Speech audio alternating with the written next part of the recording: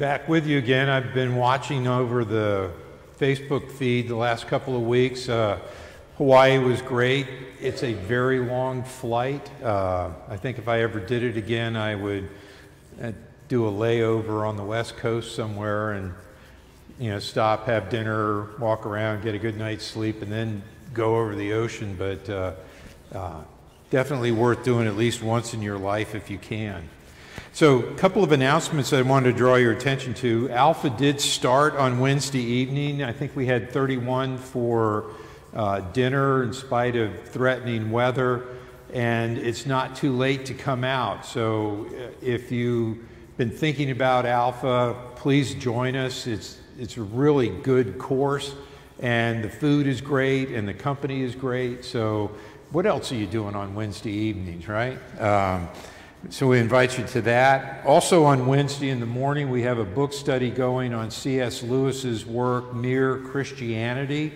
We're kind of in the beginning of that. While I was gone, I had them watch The Lion, the Witch, and the Wardrobe, uh, which is one of Lewis's children's fantasy books with a very overt Christian theme to it. And this week we actually start into the actual text of Mere Christianity. So you're welcome to join us for that. There's announcements about scouting and Ukraine relief and so forth. I would leave those for you to read. But I did want to mark that the altar flowers today are presented in memory of Wilma Kuhn, who you all will remember was a very active member of both the Meals on Wheels program and the choir and uh, her daughter is watching from Florida. We wanted to say hello. And uh, Wilma's estate gave the choir robes, by the way. So um, we remember Wilma with gratitude today. And the rest of it I will leave uh, for you to read. So, once again, welcome. We're really delighted to have you with us and invite you, if you would please, to take the bulletin and turn to the brief order of confession and forgiveness.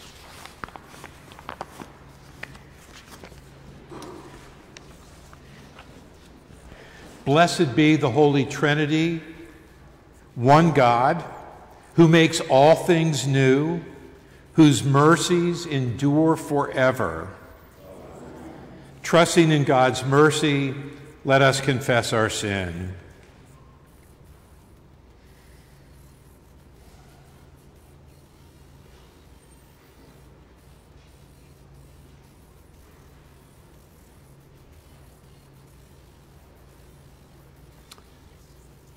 Holy One, source of our renewal, we confess that we are wrapped up in sin and cannot free ourselves. We have not practiced your righteousness. Our hearts have turned away from you. For the sake of the world you so love, forgive us, that we may be reconciled to one another for the glory of your holy name. Amen. Thus says our God. The former things have come to pass, and new things I now declare. God's mercy makes us new. We are forgiven in the name of Christ our Savior. Amen. Please join the opening hymn, Rejoice Ye Pure in Heart, number 873.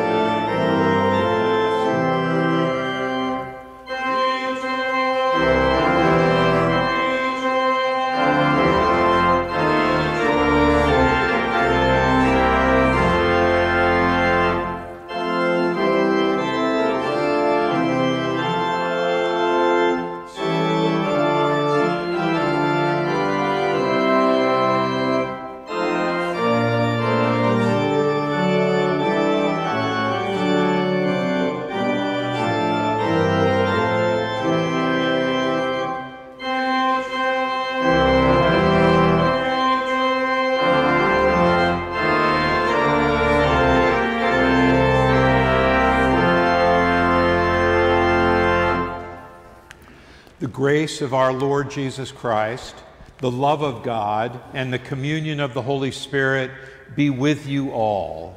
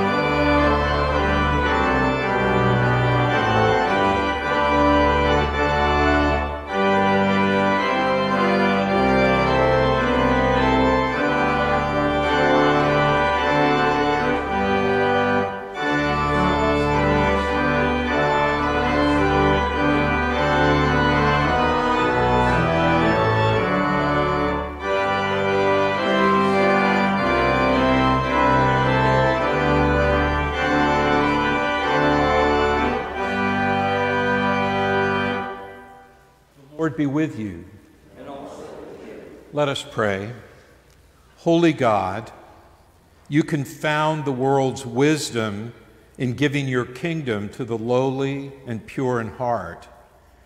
Give us such a hunger and thirst for justice and perseverance in striving for peace that in our words and deeds the world may see the life of your Son, Jesus the Christ our Savior and Lord. Amen.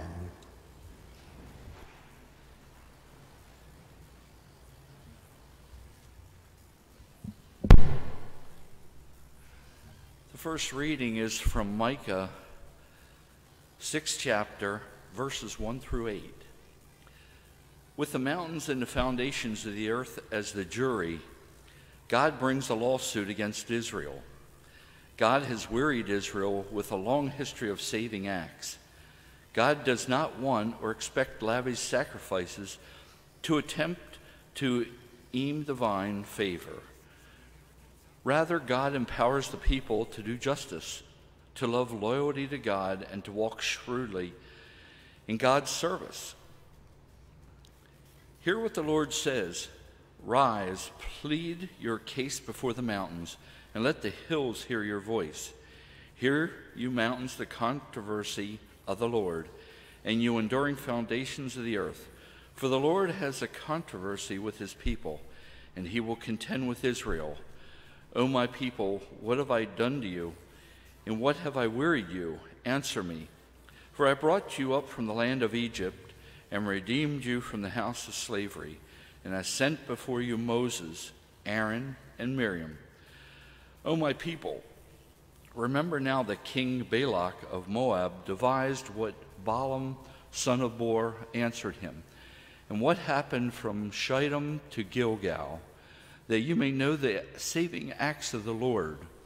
With what shall I come before the Lord and bow myself before God on high? Shall I come before him with burnt offerings, with calves a year old? Will the Lord be pleased with thousands of rams? With ten thousands of rivers of oil. Shall I give my firstborn for my transgression, the fruit of my body for the sin of my soul? He has told you, O mortal, what is good and what does the Lord require of you, but to do justice and to love kindness and to walk humbly with your God.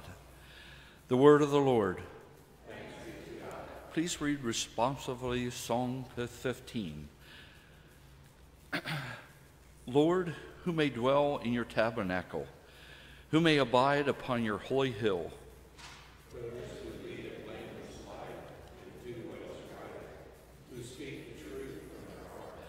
They do not slander with the tongue. They do no evil to their friends. They do not cast discredit up on a neighbor.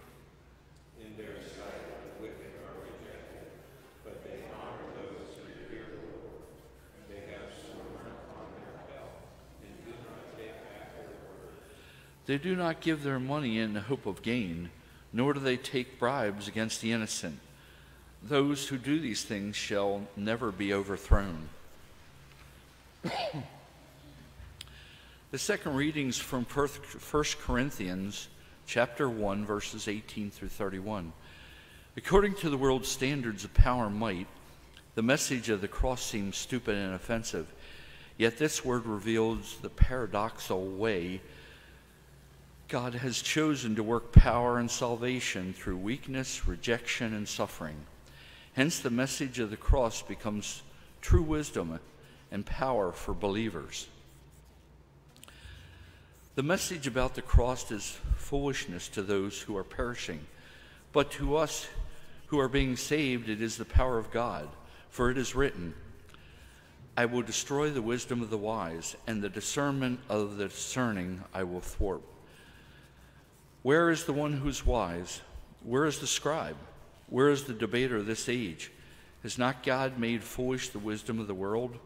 For since in the wisdom of God the world did not know God through wisdom, God decided through foolishness of our proclamation to save those who believe.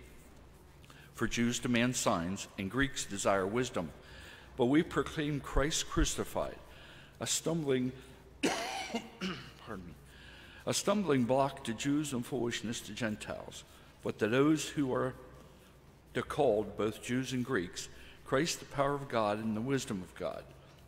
For God's foolishness is wiser than human wisdom, and God's weakness is stronger than human strength. Consider your call, brothers and sisters. Not many of you were wise by human standards. Not many were powerful. Not many were of noble birth. But God chose what is foolish in the world to shame the wise. God chose what is weak in the world to shame the strong.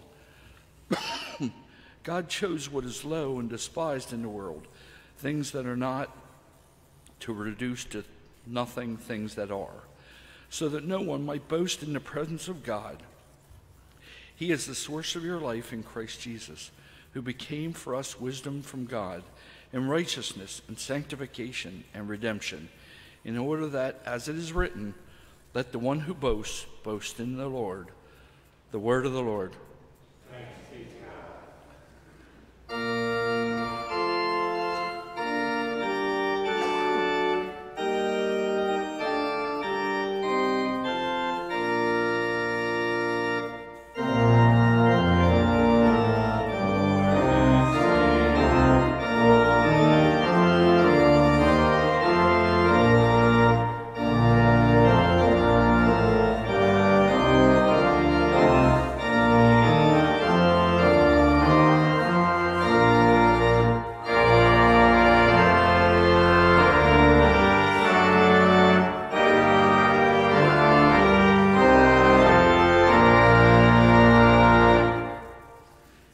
Gospel according to St. Matthew in the fifth chapter.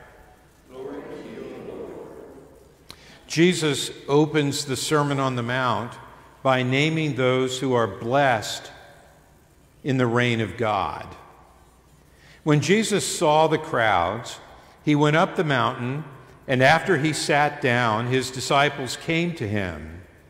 Then he began to speak and taught them, saying, Blessed are the poor in spirit, for theirs is the kingdom of heaven. Blessed are those who mourn, for they will be comforted. Blessed are the meek, for they will inherit the earth. Blessed are those who hunger and thirst for righteousness, for they will be filled. Blessed are the merciful, for they will receive mercy. Blessed are the pure in heart, for they will see God. Blessed are the peacemakers, for they will be called children of God.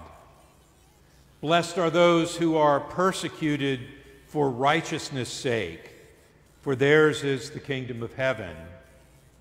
Blessed are you when people revile you and persecute you and utter all kinds of evil against you falsely on my account. Rejoice and be glad, for your reward is great in heaven. For in the same way they persecuted the prophets who were before you.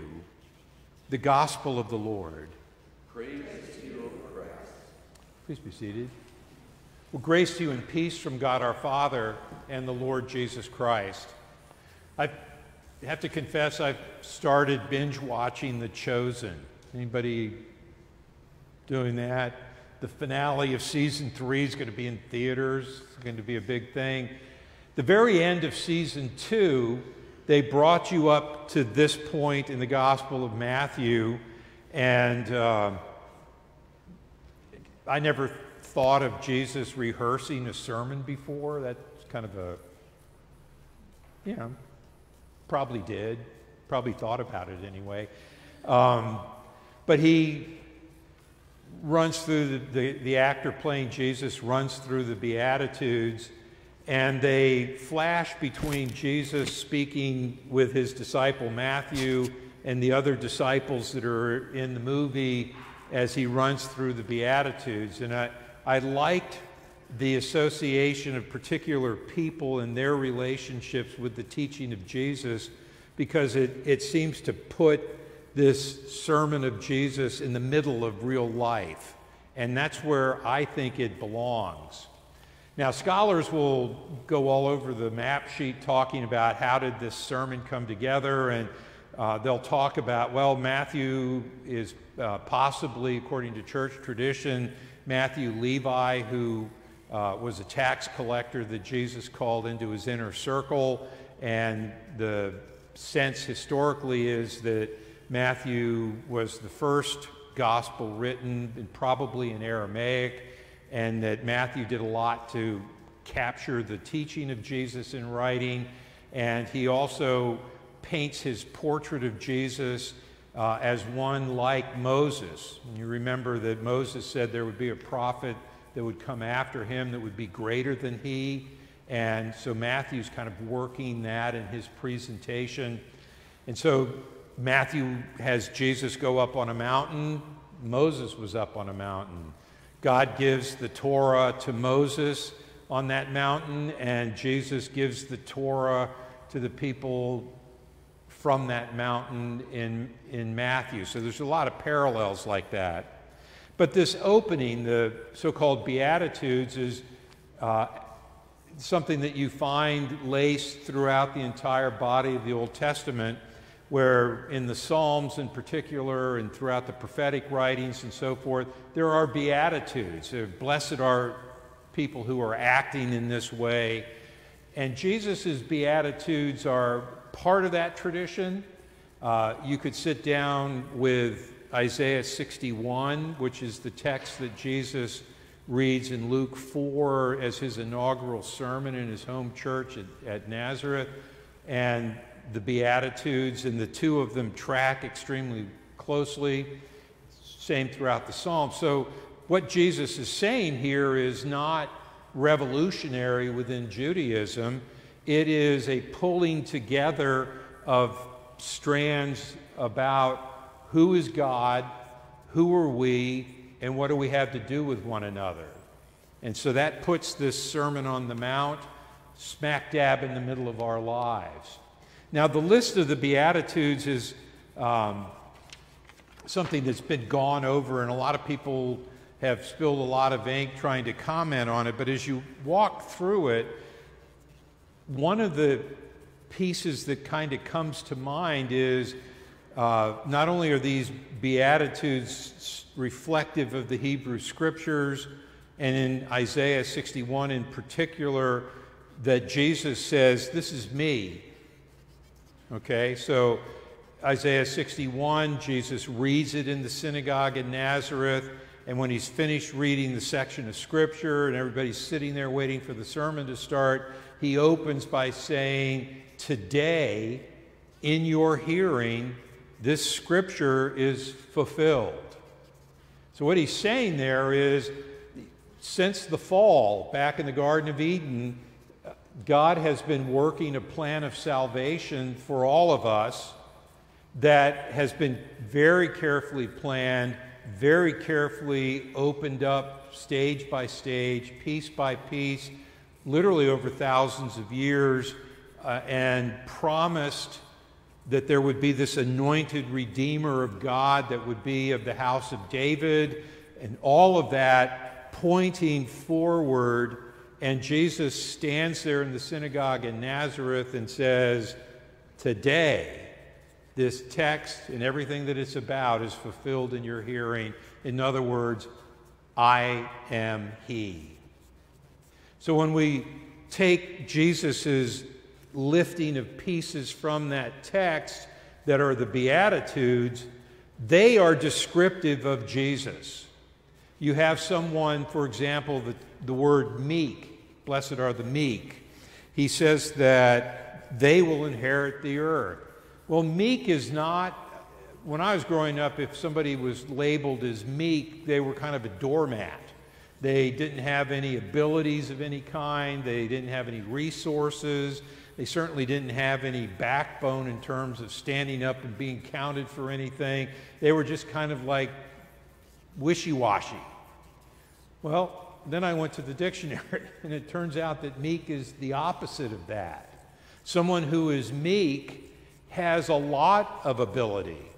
They're uh, fully in possession of their mind, they use it regularly, they're good at it, they have resources, they have abilities, they have talents and passions. They are highly capable individuals who have chosen to take all that they are and have and put it under the authority of the living God, and they do what God wants. So, in our world, it's very typical for somebody to flaunt their stuff and go their own way and do whatever they want to do, and we think that they're powerful. But the truth of the matter is, they're pretty limited, res- respectively, and they're going their own way, doing their own thing. And if they do any good to anybody, it's more by accident than on purpose. Whereas Jesus is truly powerful, and yet he submits everything to the authority of God. And throughout the Gospels, you hear him saying, I came to do the will of him who sent me. And Jesus' actions are deliberate obedience to what he gets from the Father. So when you walk through the Beatitudes, you can go through them one by one and think about how is this descriptive of the person of Jesus and you'll find an extremely high level of connectedness. Another thing about these Beatitudes, I'm going to shift gears here a little bit. These are, when you start pondering them one by one, things that are given by Jesus to his people. Jesus gives gifts to those who are uh, well, he gives his rain falls on the just and the unjust alike, but it, he is gracious to us. He sees us where we are as we really are, and he's not dismissive. He, he doesn't think, well, they're a loser and shove them off to the side. He loves us and he gives gifts to us. St. Paul says he took captivity captive and gives gifts to the children of men. And some of these gifts you can follow through here. Um, as a human being, I can relate to the poor in spirit. Poverty is a relative term. It is one that, you know, I don't know anybody that will go, yeah, I'm rich. Few people will, but everybody, you know, it's like rich is what we want, but we don't want to say we have it. Uh, so um, it's a relative term. But poor is when you know that you're out of gas. It's when you know that your bank accounts are either empty or overdrawn. It's when you have used up the goodwill of your friends and family and you're standing there literally empty handed with no ability to change the circumstance that you're in. And it's in that moment when we are most helpless. Our body has failed, our resources have failed, our relationships have been abused and are, are empty, and we're standing there before God and the world with absolutely nothing. And you know what you're promised? By Jesus, the world. Jesus has all the resources that there are, and he chooses to give them out to people who don't deserve it. We use the word grace around here a lot undeserved favor. If that doesn't describe somebody that is spiritually poverty stricken, they deserve nothing. And Jesus gives them new life. They deserve nothing, and Jesus gives them the forgiveness of their sins. They deserve nothing, and Jesus gives them his very spirit. They deserve nothing, and Jesus gives them a new name. They deserve nothing, and Jesus gives them a place in the family at the head table at the festivals.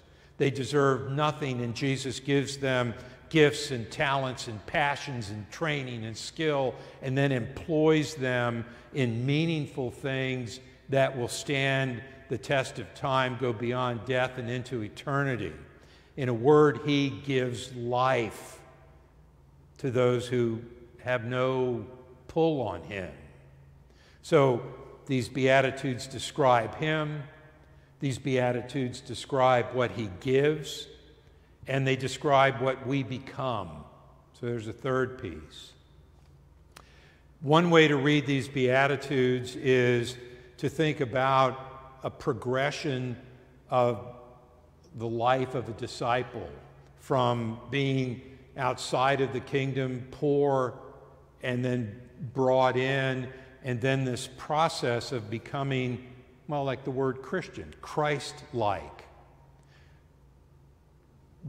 We are justified by the grace of Jesus Christ. That means we're saved.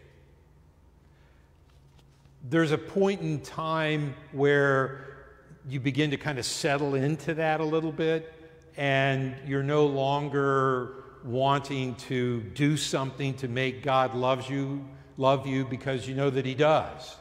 You're not concerned about the fundamental relationship with God because He's given it and He sustains it.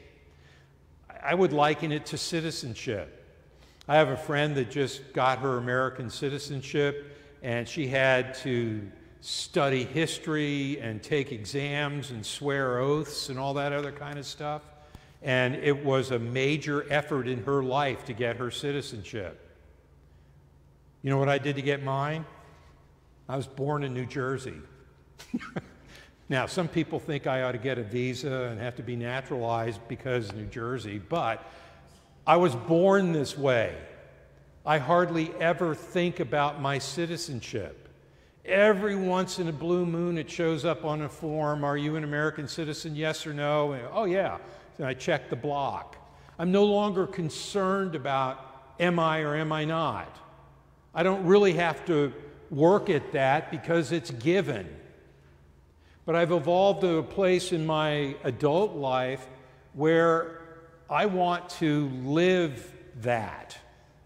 So I vote and I pay my taxes and I serve on juries and I served in the military and I do those things that, um, as a citizen, build up the Commonwealth.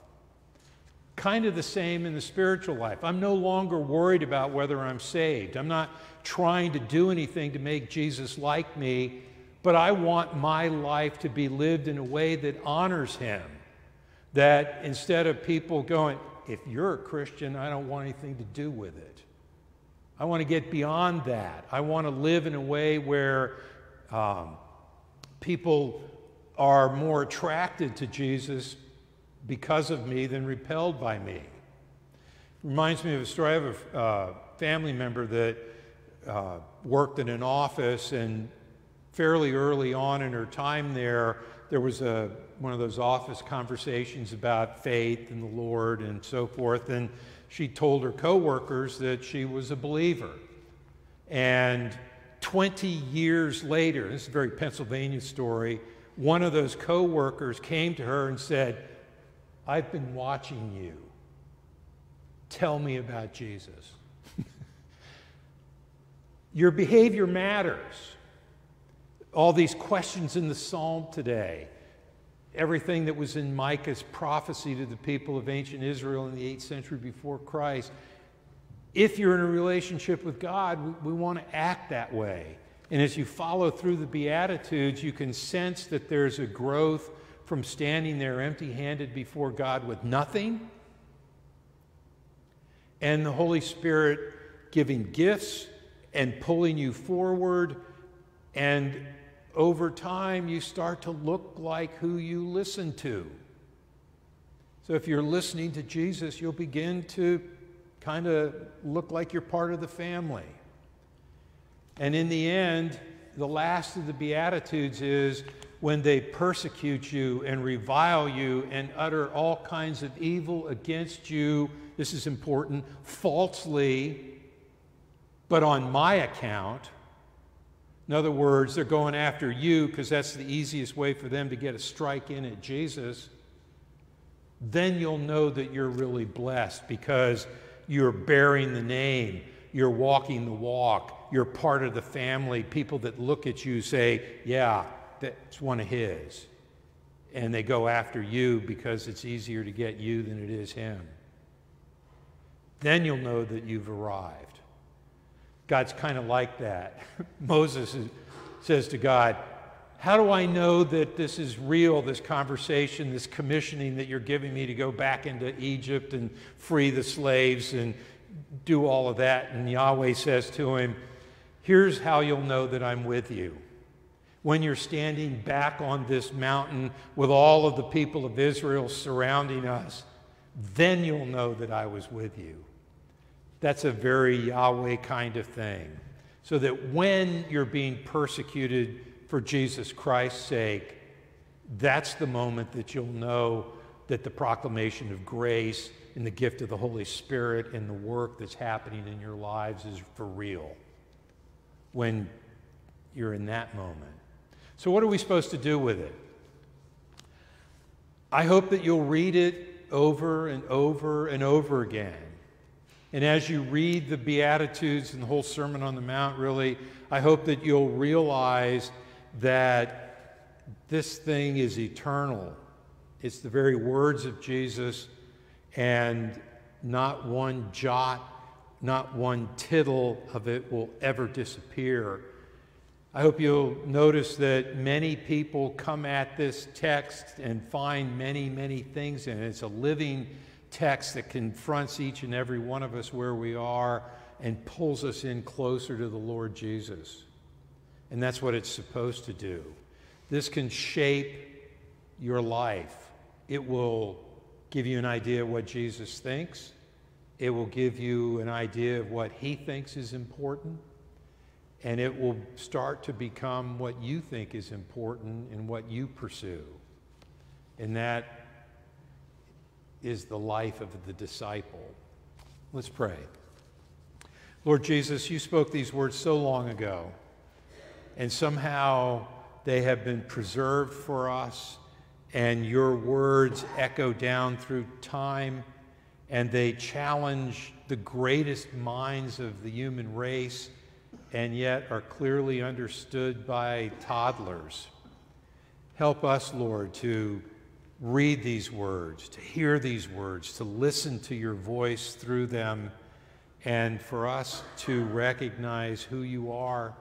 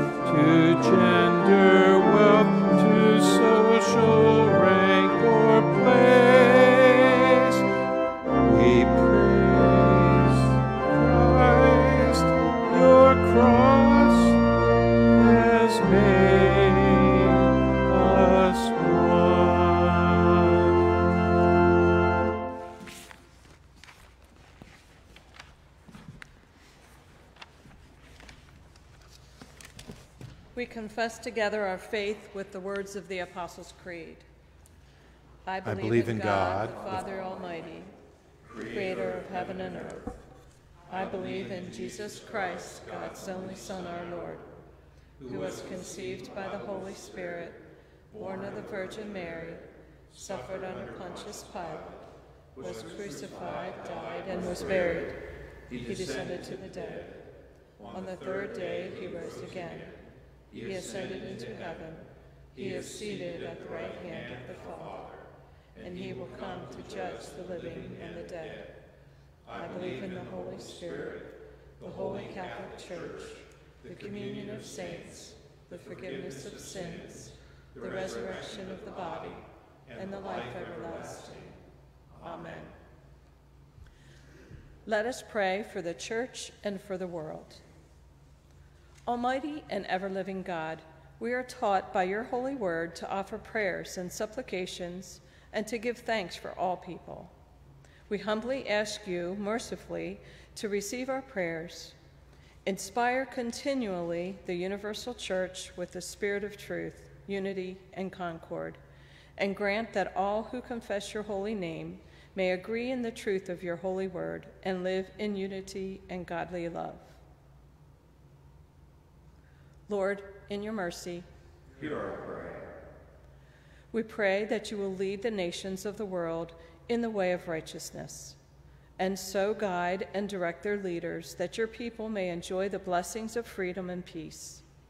Grant that our leaders may impartially administer justice, uphold integrity and truth, restrain wickedness and vice, and protect true religion and virtue.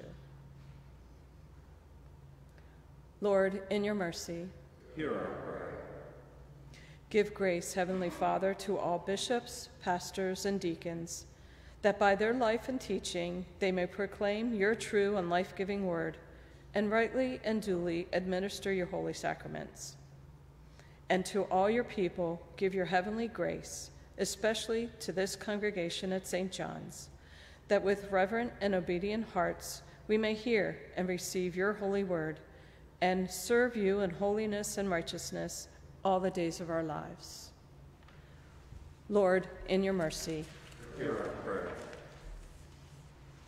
prosper, we pray, all those who proclaim the gospel of your kingdom throughout the world, and strengthen us to fulfill your great commission, making disciples of all nations, baptizing them and teaching them to obey all that you have commanded. Lord, in your mercy, Hear our prayer. We ask you, in your goodness, O Lord, to comfort and sustain all who in this transitory life are in trouble, sorrow, need, sickness, or any other adversity, especially Charles, Bob, Les, Angie, Brenda and Larry, Terry, Jean, Don, Crew, Gloria, Nancy, Chris, Carol, Donnie, Joshua, Henry, Kathy, Greg, Linda and Troy, Ingrid, Jim, Ruth, and Angel, and all those we name now, either aloud or in the silence of our hearts. Lord, in your mercy, hear our prayer. We remember before you all your servants who have departed this life in your faith and fear that your will for them may be fulfilled. And we ask you to give us grace to follow the good examples of all your saints, that we may share with them in your heavenly kingdom. Lord, in your mercy, hear our prayer. Heavenly Father, grant these our prayers for the sake of Jesus Christ, our only mediator and advocate, who lives and reigns with you in the unity of the Holy Spirit, one God, now and forever. Amen. Amen. The peace of the Lord be with you all. And also with you.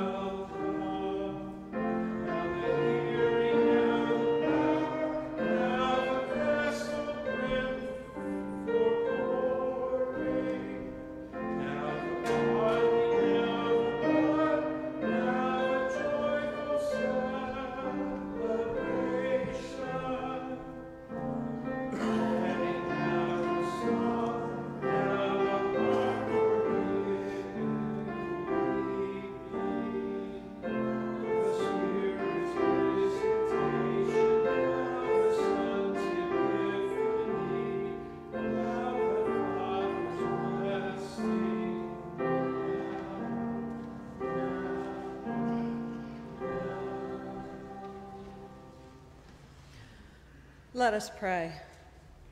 God of abundance, receive and bless these gifts we have offered.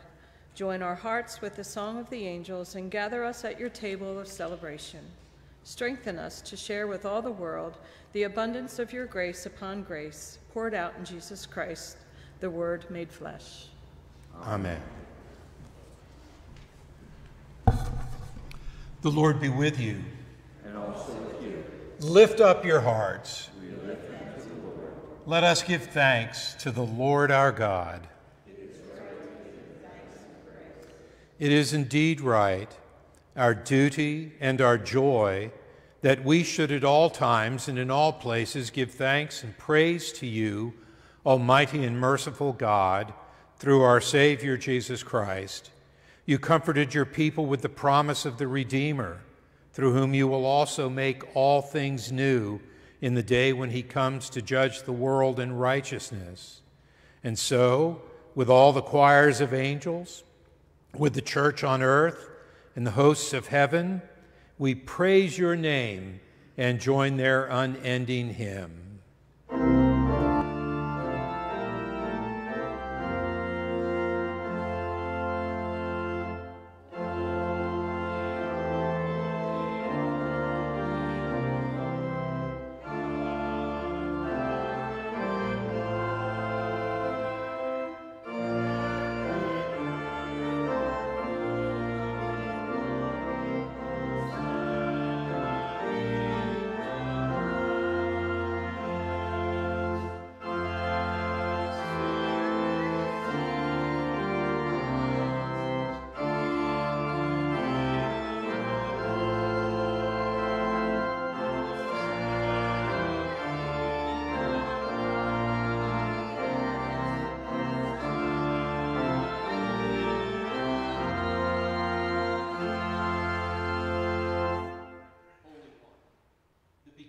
And the end, the giver of life. Blessed are you for the birth of creation. Blessed are you in the darkness and in the light. Blessed are you for your promise to your people. Blessed are you in the prophets' hopes and dreams. Blessed are you for Mary's openness to your will. Blessed are you for your Son Jesus, the Word made flesh who in the night in which he was betrayed took bread, and when he had given thanks, he blessed it, broke it, and gave it to his disciples, saying, Take and eat. This is my body, which is given for you. Do this for the remembrance of me. Again, after supper, he took the cup, and when he had given thanks, he gave it for all to drink, saying, This cup is the new covenant in my blood it's poured out for you for the forgiveness of sins. Do this for the remembrance of me. Let us proclaim the mystery of faith. Christ has died. Christ is risen. Christ, Christ will come again. With this bread and cup, we remember your word dwelling among us, full of grace and truth. We remember our new birth in his death and resurrection. We look with hope for his coming. Come. Holy God, we long for your Spirit. Come among us. Bless this meal. May your word take flesh in us. Awaken your people. Fill us with your light. Bring the gift of peace on earth. Come, Holy Spirit. All praise and glory are yours, Holy One of Israel. Word of God incarnate, power of the Most High, one God, now and forever. Amen. Amen.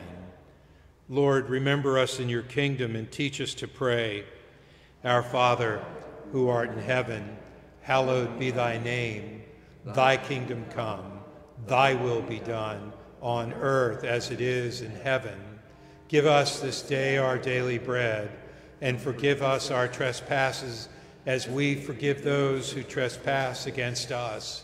And lead us not into temptation, but deliver us from evil. For thine is the kingdom, and the power, and the glory, forever and ever. Amen. Come, taste the joy of God. Amen.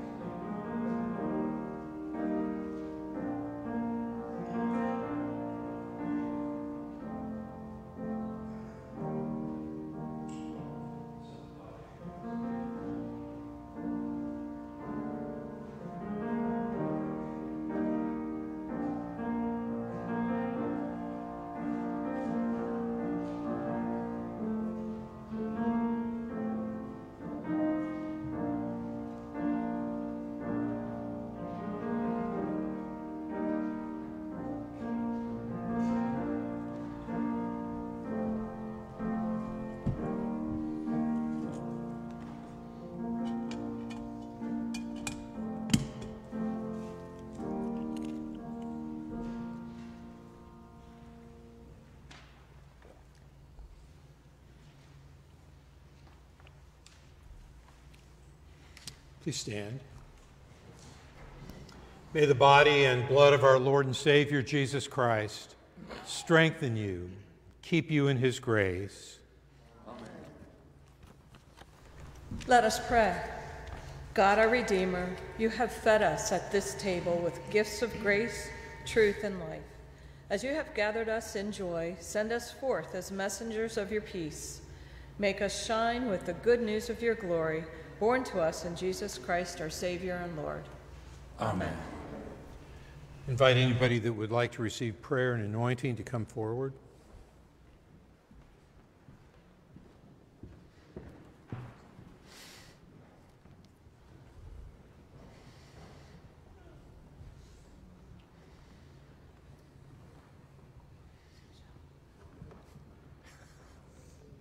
Teresa, I anoint you in the name of the Father, the Son, and the Holy Spirit, beseeching our Lord Jesus to strengthen you with his presence, to drive far from you all sickness in body and spirit, and to give you that victory.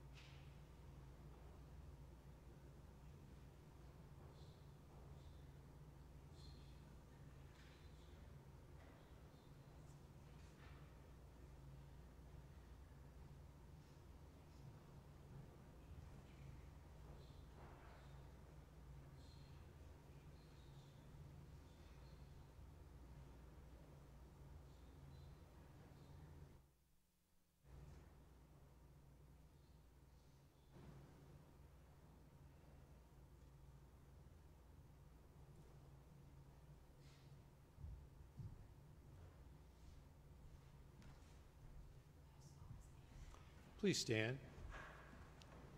Receive the benediction. God bless you and keep you. Jesus grant you grace and truth, and the Spirit send peace upon your hearts now and forever. Amen. Oh, 818.